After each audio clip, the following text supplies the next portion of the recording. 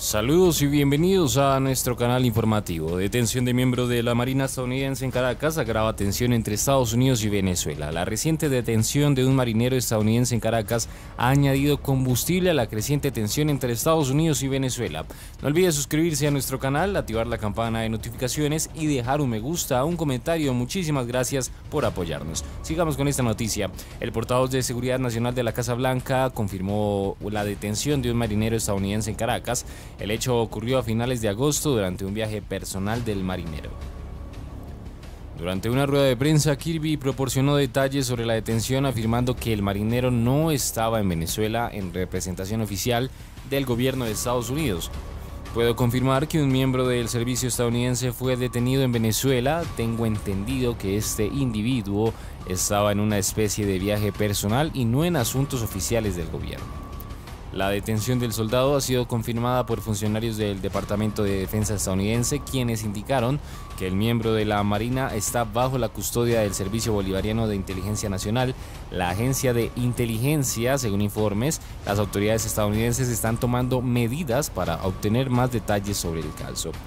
Somos conscientes de los informes de que un miembro de la Marina de Estados Unidos fue detenido o en alrededor del 30 de agosto por las autoridades policiales venezolanas durante un viaje personal a Venezuela. La Armada de Estados Unidos está investigando esto y trabajando en estrecha colaboración con el Departamento de Estado. ¿Qué opina de esta noticia? ¿Qué opina de esta información? Nuevamente los invitamos a suscribirse y a quedarse hasta el final de este video porque hay noticias, informaciones. Uno de ellos, con la llegada de dos personas con el rostro tapado que, tras intentar ingresar en su casa haciéndose pasar por técnicos de servicio de Internet, tomaron fotografías de la casa. Días después, em, veo en Twitter que un dirigente venezolano llamado Juan Pablo Guanipa hace eco de una denuncia que estaban haciendo miles de venezolanos, entre ellos periodistas con línea crítica, que se les había anulado arbitrariamente el pasaporte.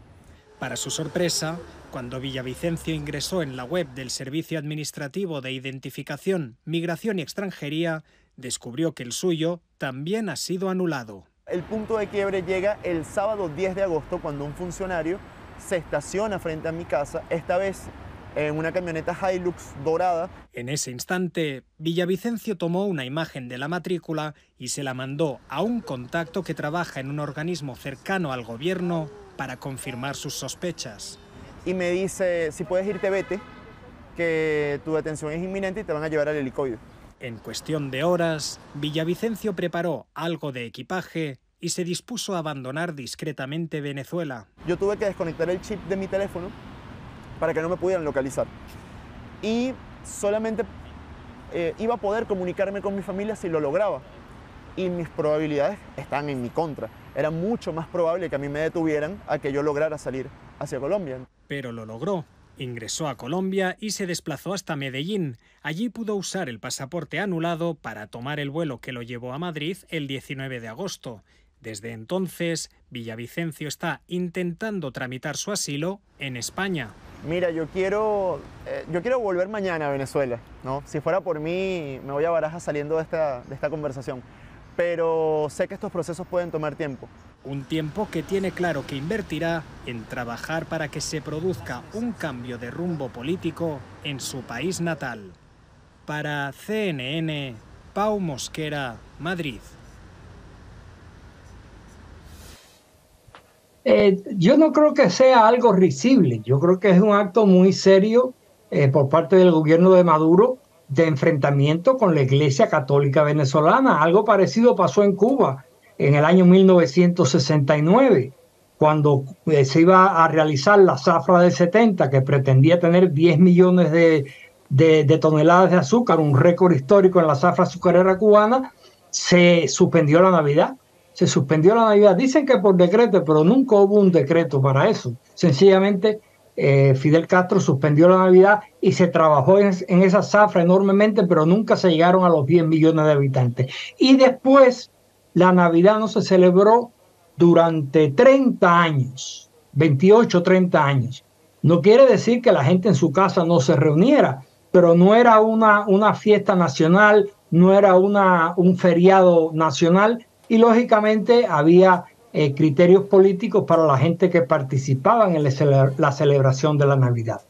eso me parece que es lo mismo que quiere hacer, que Maduro como una represión a la Iglesia Católica, que en el caso cubano había estado hasta el año 1965 militantemente oponiéndose al gobierno. Ya en el año 65, después del Concilio Vaticano II, em, entró la diplomacia y bajaron sus, sus eh, ¿cómo se llama? sus armas en contra del gobierno de Fidel Castro, pero él en el 69 eh, suspendió la Navidad por la zafra del 70 y después no se habló más nunca de Navidad hasta el año 1997.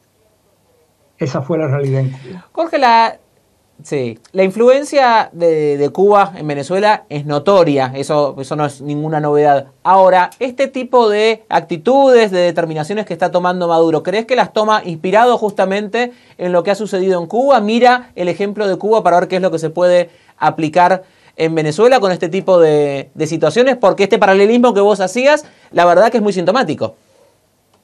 Sí, seguro. Lo que pasa es que la situación de Cuba en aquel año era totalmente diferente a la situación de Venezuela en este momento, donde ha habido una elección que están disputando, bueno, desde la izquierda y desde la derecha, desde la izquierda un poco tímidamente, porque lógicamente quieren encontrar una, una razón que proteja a Maduro, pero sencillamente Maduro no presenta las actas electorales que se le han pedido tantas veces. Si fuera, si él presentara las actas electorales, ya se resolvía todo el problema y todo el mundo estaba contento. Entonces la, celebración de la Navidad es un, pretexto político para atacar a la Iglesia Católica que ha estado inmiscuyéndose en los, en, las, en los asuntos políticos de Venezuela, porque la Iglesia Católica venezolana considera que es su deber.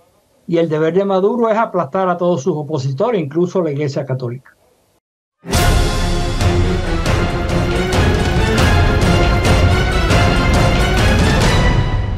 Si no te quieres perder de los últimos acontecimientos que pasan en el mundo, suscríbete y activa la campana. Somos Noticias al Día.